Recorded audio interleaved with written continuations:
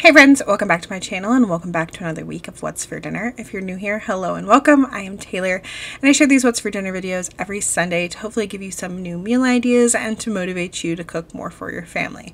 So if you like these kinds of videos, I do hope that you will subscribe down below so you can come back and see my future ones. And I've also been doing this for quite a few years now, so I have a whole playlist full of these types of videos. Today I have seven meals from this past week to share with you. Some of them were new and I know that we will be making again because they definitely were a favorite. Friday nights I like to keep super simple. If you've been here a while, you know that. So we started off with a easy family favorite, which is grilled cheese and tomato soup. Our favorite bread for grilled cheese is some sourdough. So I had some Havarti and some cheddar on some sourdough bread. And then the kids actually had grilled ham and cheese with some American and cheddar and ham. And then our favorite tomato soup from a can is Progresso Hearty Tomato Soup. It is the best that we have ever tried. Saturday night was another pretty easy meal. We made some nachos. So I have this giant can of Rico's nacho cheese that I always talk about getting at Sam's Club. So I took some of that and put it in a pot to warm up on the stove. And then I thought I would show you guys how I freeze it because I always talk about how this freezes well. And that's why I buy this big can. So I just take it and I put a Ziploc bag in a cup to make it easy to fill so it'll like stand up, you know? And then I just fill multiple Ziploc bags. I do quart size bags and I get about five bags of nacho cheese in addition to the amount that I put on the stove, which is probably equal to about what I put in these bags because I try to keep it pretty even and use like um, the amount that we would use for nachos.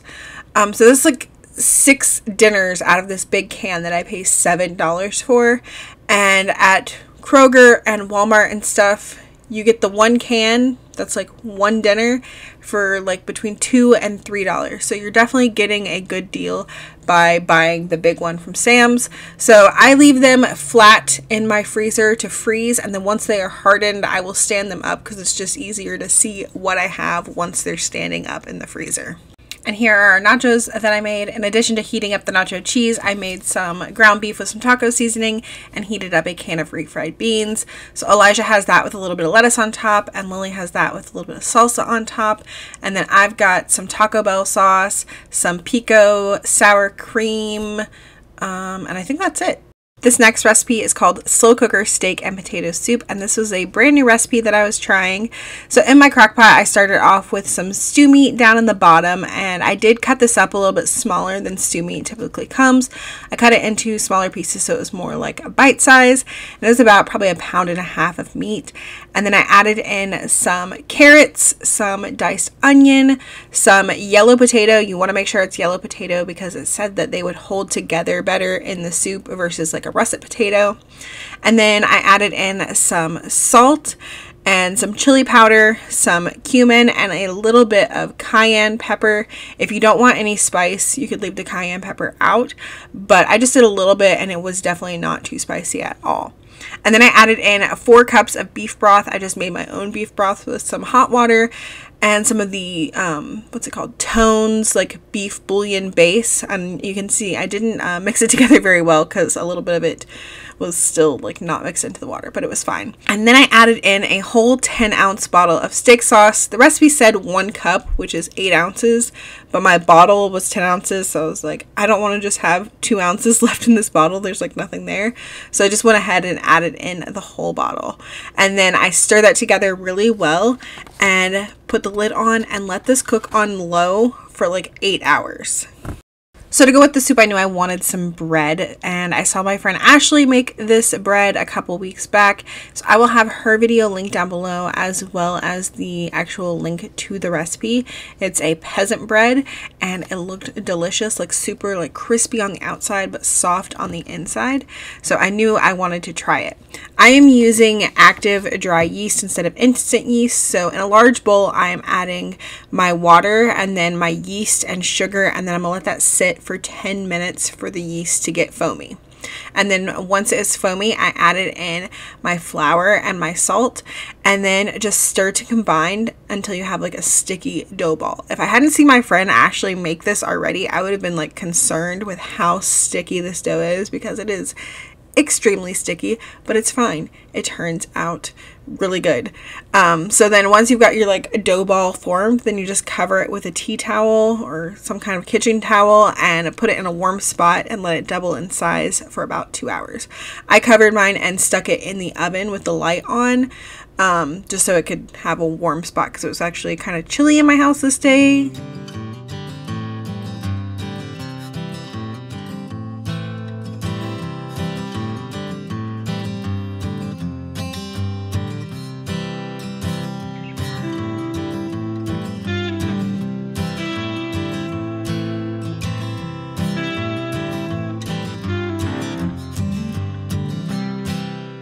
Once my dough had doubled in size, I deflated the dough with two forks and started to kind of pull it away from the edges of the bowl.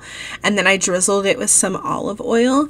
And then I used my forks to kind of turn the dough ball over and get it all nice and coated with that oil and kind of form it into more of a ball. And then I got my baking pan out. I'm using a loaf pan and I am greasing it with some salted butter. I think I use about half a stick of butter to just grease that pan really, really well. And then I just dropped my dough ball down into that and let it rise again for about 45 minutes to an hour. And here's what you kind of want it to look like before you bake it. You want it rising up over the edge of the pan. And then I baked this in an oven at 375 for about 45 minutes. And then here is what that looked like. I let it cool for a few minutes in the pan and then took it out and let it continue to cool on the countertop for a little bit before slicing. And here is what it looked like sliced. The outside was super crispy and the inside was super duper soft. It was really a really great like sandwich bread. I know that this would make great sandwiches. We didn't have um, any leftover to eat with sandwiches. We ate the leftovers with the leftover soup.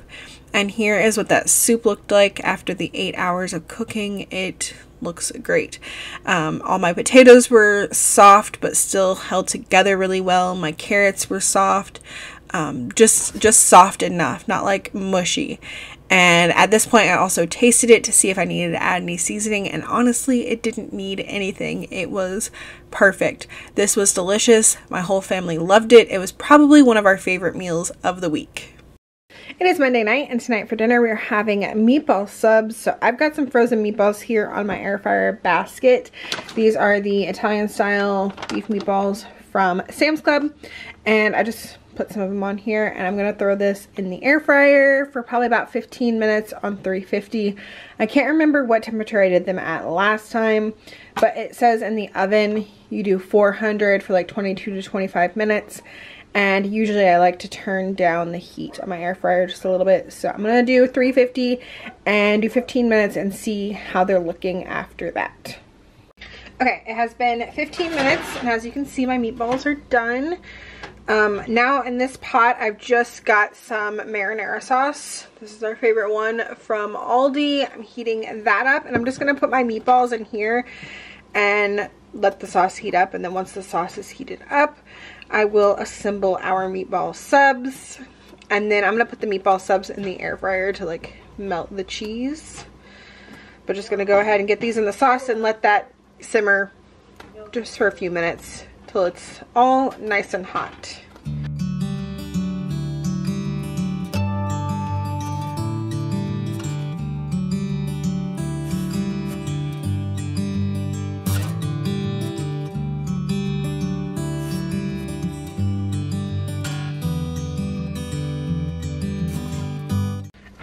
I've got my sub bread here. I went ahead and stuck this in the air fryer for just a couple minutes to toast it. I'm just gonna put some meatballs and some sauce on it. And then I have some sliced mozzarella cheese. I'm gonna put that on there and then stick these back in the air fryer for like, I don't know, a minute or two just for that cheese to get melted.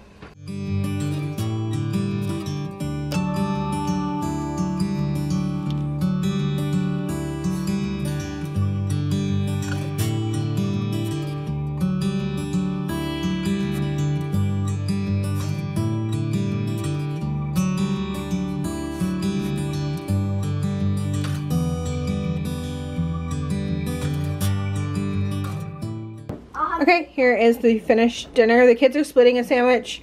Um, and then I'm having half of one. I don't think I'll be able to eat two. Um, I mean, like the whole sandwich, but we'll see. We've also got salad for me and Elijah. And then Lily just has some tomatoes and cucumbers. But we love meatball subs. Super easy to put together and always a favorite. For this next recipe, I'm starting off my oven preheated to 425 and then in a 9 by 13 inch pan, I am adding half a cup of chicken broth and 2 tablespoons of butter and then I'm sticking that in the oven to just let it cook for about 10 minutes. If you've been here a while and you've seen my other What's for Dinners, you may remember a couple weeks back I made something very similar to this recipe. This might look very familiar, and that is because I am taking the magic crispy baked shrimp recipe, but doing that with tilapia. So I'm adapting it just a little bit to make sure that I have enough flavor for all of my pieces of tilapia. So after I had that in the oven, I started working on juicing two lemons. The original recipe only calls for the juice of one lemon, but I am doing two for my tilapia. And then I minced up a bunch of garlic. Recipe calls for three garlic cloves. I did like seven, I think. I like a lot of garlic.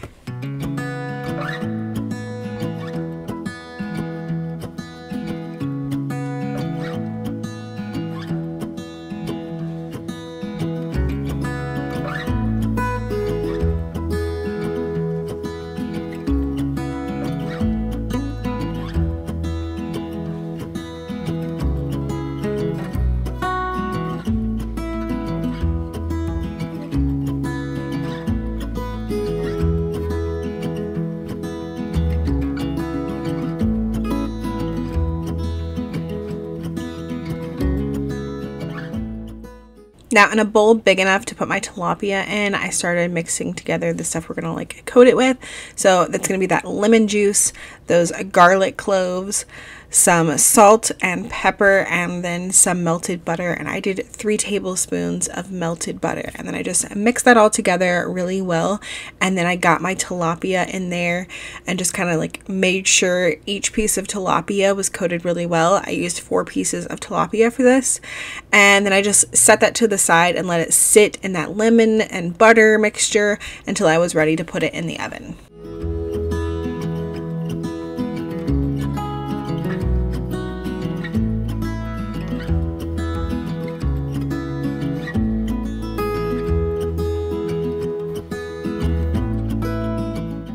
Then it was time to make the crispy topping. So in another container, I melted two more tablespoons of butter, and then to that I added about three quarters of a cup of panko breadcrumbs and about a quarter cup of Parmesan cheese, and then I just mixed that all together really well.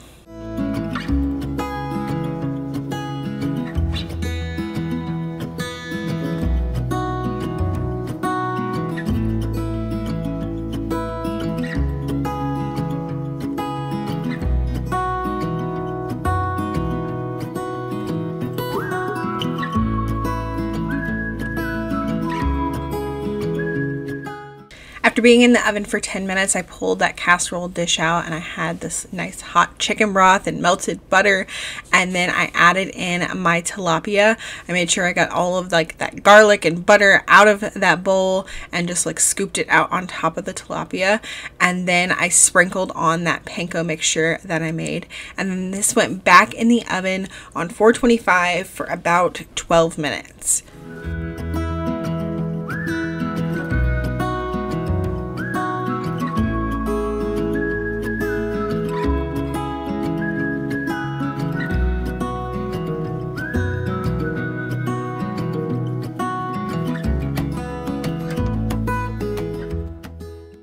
After it was done cooking for the 12 minutes, my tilapia was cooked through, but then I broiled it for about two minutes just to get it nice and crispy on the top. This was absolutely delicious, just as good as that shrimp recipe was. I would definitely make this again it, it's just really good and it really does turn out like super crispy and just really buttery and lemony which I love on like shrimp and fish so I knew that this would be good on this. To go with it I just made my garlic parmesan pasta super simple. I will leave a video down below where I made that and then some green beans as well. Wednesday, I made a new recipe called Instant Pot Cockadoodle Noodles. This is from a YouTube channel called Pressure Luck or Jeffrey Eisner. All of his recipes that I've tried are really good, but most of them are like super rich um, which you'll see in this video. It has a lot to it and it's super rich and filling. So I'm starting off my Instant Pot on the saute function and I'm just melting up four tablespoons of butter to cook my chicken in. I've gone and diced up my chicken pretty small, like small bite-sized pieces and I'm going to get that in there to cook, but I am going to season it. He doesn't have you do this. He has you add seasoning later, but I wanted to cook some of the seasoning into the chicken. So I went in with some garlic powder, some onion powder, some black pepper, some salt, and some Italian seasoning. And I just let that cook for a couple of minutes till my chicken was like most of the way cooked through. It doesn't have to be all the way cooked through because we are going to be pressure cooking this.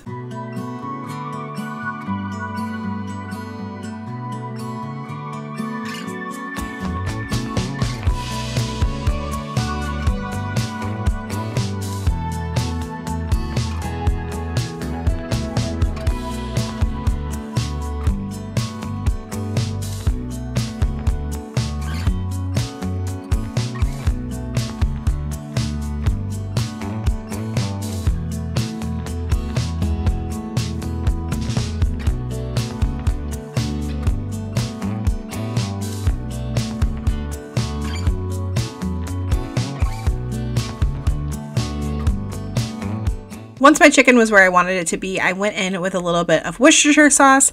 It said that this was to deglaze the pan, but I didn't really have anything to deglaze. I think that's mostly because I left out the mushrooms. So I just kind of stirred it around for a few minutes, made sure that there wasn't anything on the bottom, but there really wasn't. So then I went in with my chicken broth. I did three and a half cups of chicken broth. I always make mine with some Knorr chicken bouillon and some water. So I got that in there. And then I added in some more seasoning, which was some more garlic powder, some more onion powder, some more black pepper, and a little bit of salt and some more Italian seasoning. I gave that a good stir, made sure everything was combined really well, and then I poured on one 12 ounce bag of egg noodles. We're not going to be stirring anymore. We just want that sitting on top of the chicken, but kind of pressed down into the liquid. And then I also added in some frozen mixed veggies. He said to do 20 ounces, but I just did, I think this was either a 12 or 16 ounce bag. So I just poured that in on top of the noodles. And then I got my lid on here, made sure my valve was in the sealing position, and, and, then I cooked this on manual high pressure for two minutes. And then I only let this do a natural release for five. He said you could go up to 10, but he also said in the tips, like if you don't want your egg noodles like super duper soft, just go for five minutes. So I like my egg noodles a little bit firmer, so I did the five minute natural release and then release the rest of, rest of the pressure. After releasing the rest of the pressure, I took off the lid and started adding in the rest of my ingredients. This is where this dish becomes super rich. So I added in one cup of heavy cream and two cups of like shredded cheese. I did cheddar, about half a cup of grated Parmesan cheese, one package of Boursin cheese. I did like the garlic and herb kind. Um, he said to cut it into chunks. I probably should have done that. I just left it as a whole big brick, but it probably would have melted a little bit better or faster had I cut it into chunks because it took a little bit for me to get it to melt. And, and then I also added in about two tablespoons of some buffalo wing sauce to give it a little bit of a kick, which is completely optional. And then I also added in a little bit of salt till I got it to taste where I wanted it to. I did a little bit of seasoned salt for that. The other thing that he had you add in the recipe was some ranch dressing, like one fourth of a cup of ranch dressing, but I left that out. Um, I didn't really want a ranch flavor in this, so that's why I left it out. Um, I didn't think my family would care for it very much, and I just wasn't um, really digging the idea of ranch in it, so I left it out. But even without it, it was still like so rich and it was actually really delicious. My family loved it. I would definitely recommend it and I would definitely make it again. Thursday night, I tried a new side dish recipe called twice baked potato casserole. So I'm just starting off by baking my potatoes in the air fryer the way I always do. You could bake them in the oven if that's the way you prefer to do it, but I prefer to do it in the air fryer. So I just took my potatoes, washed them, dried them, coated them with some olive oil, and then sprinkled them with some salt. And then I put them in the air fryer on about like 375 for about 40 minutes, flipping them over halfway through. This recipe is a recipe that I found on TikTok. There weren't like exact measurements, and so I can't give you exact measurements. I was just trying to make enough for my family to have dinner this night. So that's why I only cooked two really big potatoes, but it still was a lot of twice baked potato casserole. There was enough for leftovers the next day for lunch. So once these were done cooking in the air fryer, I let them rest for a few minutes so they weren't too hot to handle. And then I just took the potatoes and kind of diced them up into a bite-sized pieces. Then I put half of those potatoes in the bottom of a baking dish and I seasoned them with some garlic powder, some onion powder, a little bit of salt and pepper, and then I topped them with some sour cream, just spread it out over the top of them as best as I could, added on some cheddar cheese and some bacon bits, and then I repeated those layers.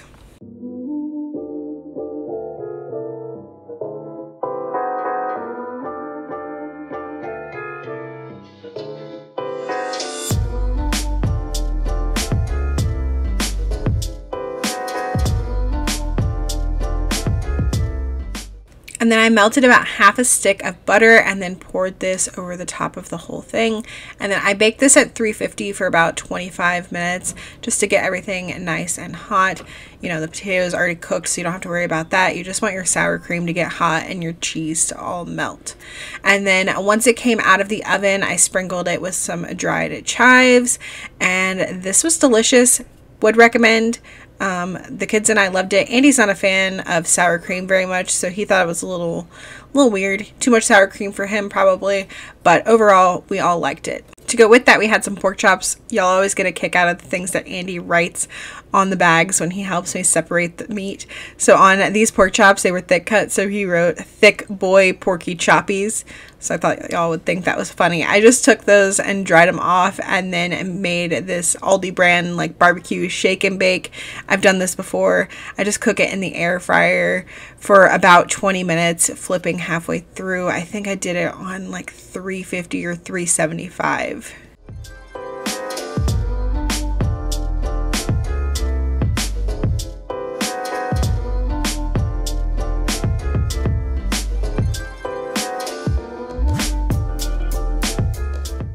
Here is the finished dinner. We had our pork chops with a loaded baked potato casserole and then a salad on the side for those of us who like salad and just some fresh veggies on the side for Lily.